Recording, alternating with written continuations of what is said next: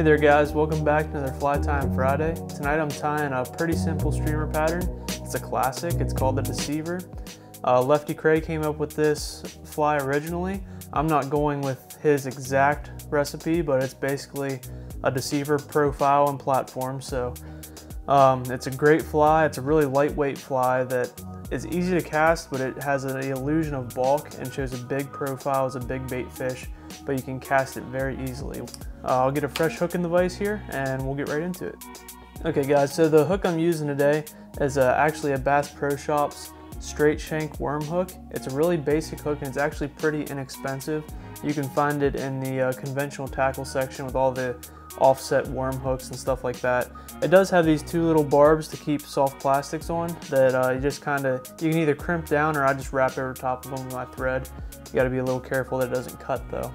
But uh, I'm gonna come in with some Ultra um, 140 in white and just work that back to the bend of the hook. I don't think I mentioned it, but this is, a, I believe, a size 1. Uh, these hooks come available and clear up to, I think, 6 aught, which I use the same hook to tie my big pike and uh, predator flies, musky flies with. So it's a great hook. Pretty inexpensive as far as uh, big predator hooks go. So uh, first thing I'm going to do is grab some schlappen for the tail. You can use strung Chinese hackle, um, saddle hackle, uh, the large hackle off the bottom of your capes, anything like that. I'm going to grab two that are pretty similar in size. I want them to be a little bit webby, but they can't be super just thick. These two are relatively similar. I'm going to go ahead and set this first one. I like to make the length of these tails about twice the length of the hook shank, roughly. You can make them a little shorter, but uh, the fish that you're targeting with these flies are uh, predators, so they usually take the fly either head first or either middle of the body, so you're not going to miss too many hookups by making a long tail. So uh, the way you tie these tails in, basically the stem has a flat side, and if you're looking down the stem, the flat side is just like this. So you lay that flat part of the stem on top of the hook shank. Gunnar Brammer, if you're familiar with him, goes over this in very good detail. You can check out his videos um, on his channel. But basically, if if you tie it to the side of the hook, like most people try to do, it's going to twist that stem like that, and you're going to have a hard time setting your tails, and they're going to want to twist and kind of go all crazy on you. So if you just strip away down to the bare stem and then tie it directly on top of the hook shank, with some nice firm wraps, it'll stay put exactly where you want it, just like that. So going straight back. I'm just gonna match up the other side and I'm putting the shiny side of these feathers out facing away. So that's kind of personal preference. You can have them splay outward if you think that'll help it swim better, but I just kind of like the look of this with the shiny side out. So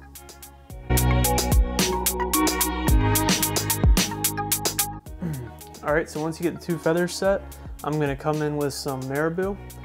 I'm just gonna select a feather with plenty of length. It's fairly long. And I'm gonna palmer this marabou up the hook shank. So basically, I'm gonna preen away those fibers from the tip, tie it in from the tip,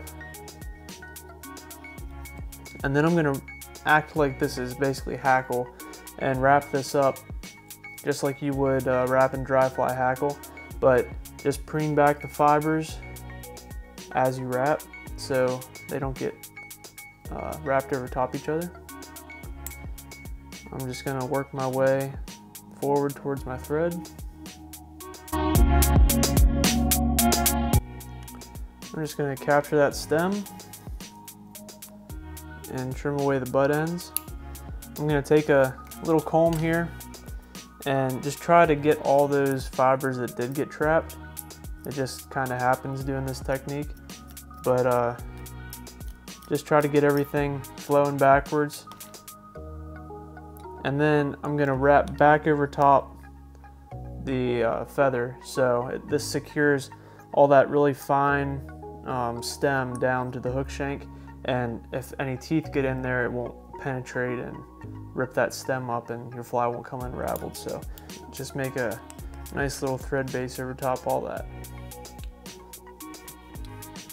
All right, next I'm gonna come in with some polar chenille. This is basically like a body filler for the fly. It uh, adds a little bit of flash, but also covers up all that uh, space in between the uh, marabou tail and the uh, deer tail head. So just gonna tie that in, move my thread up to the front of the hook and just preen back these fibers as you go. This is a synthetic material. We're just doing touch and wraps all the way up and uh, covering up all our work so far.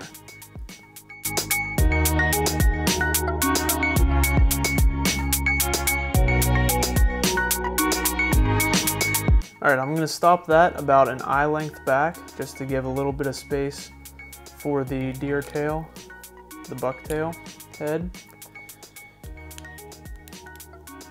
Tie that off, secure it, trim it away. Next, I'm actually going to switch threads here to some gel spun thread, GSP. This is uh, GSP 100. And it just is a little easier to work with with the uh, bucktail. It won't break or anything, so get that out of there. All right, so next I'm gonna take some bucktail and I'm just gonna take this from the middle of the tail. This is where the fibers are kind of medium as far as density goes and hollowness. So it'll still flare, but it won't flare out like a deer belly hair. And when you get down towards the base of the tail, that's really what it does. It's super hollow, and it gets less hollow as you work up towards the tip of the hair. I'm gonna take uh, a little less than a pencil thickness at first, and then i want the longest of these fibers, so I'm basically gonna come up here at the tips, grab at the tips, and then pull all the shorter, junky fibers out, all the trash pieces, um, the under fur, stuff like that. Get that out of the way. And then you're just left with some nice long tail fibers. All right, so the bucktail, the tips of the tail I want to come about midway back on the marabou. So you have a nice taper from your hackle tails to the marabou and then up to the bucktail. So they're kind of stair stepping equally up. I'm just gonna take that clump and making two loose wraps. And then I'm gonna do a just a distribution pinch. I'm gonna push straight down on the clump of hair and then pinch from the sides. That's really key to help evenly disperse all that bucktail around the hook shank. Uh, give it a turn, you know, make sure everything's looking all right. And then when everything's dispersed evenly, you're just gonna pull down really tight on the GSP and flare everything out. Make a few more nice wraps in there.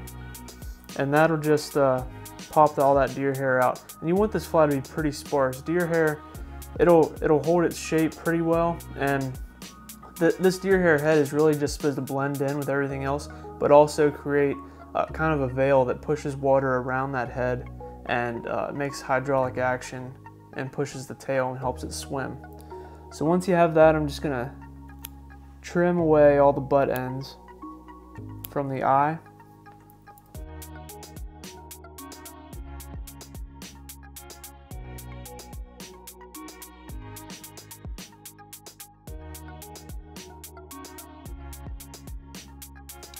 And next I'm just going to take a razor blade and really clean that eye up. Just make sure there's no more butt ends.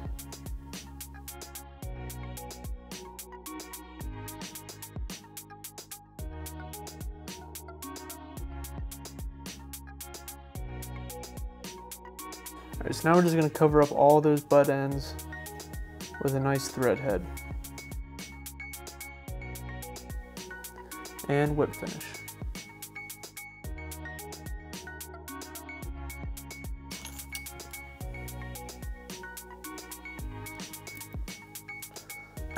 We'll just hit that head with a little bit of super glue and that's pretty much it.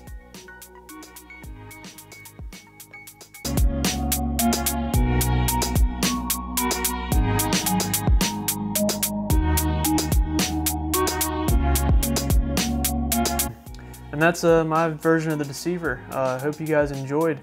If you don't already, follow me over on Instagram. It's uh, Blue Line Adventures, and you'll see more updates and fishing pictures, posts like that. So, um, also be sure to subscribe and like the video. I'd really appreciate it. And we'll see you next week on another Fly Time Friday. God bless.